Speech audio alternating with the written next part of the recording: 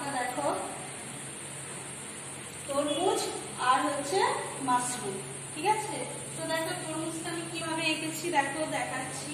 এইভাবে একটা লাইন টানবে এই দেখো, এরকম করে গোল করে লাইনটার সাথে যুক্ত করবে, করে এই আবার একটা ভেতর দিয়ে একটা গোল হবে, দিয়ে এই যে বীজগুলো, ঠিক আছে? ছোট ছোট ছোট ছোট করে বীজগুলো আনবে তাহলে এটা তরমুজ, পাতা তরমুজ। আচ্ছা এটা মাশরুম দেখো মাশরুম কীভাবে লিখেছি দেখো এখানে দেখিয়ে দিচ্ছি। দেখো এই লাইনটা এইভাবে। করে দেখো এই গোল করে এটা ঠিক আছে দিয়ে দেখো এই লাইন এরকম করে মোটা করে একটা লাইন এইভাবে।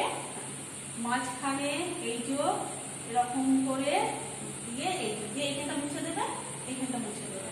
ঠিক আছে? দিয়ে এই হ্যাঁ, তাহলে এটা কি হয়ে গেল? মাশরুম ঠিক আছে? তাহলে তোমাদের Tunggu.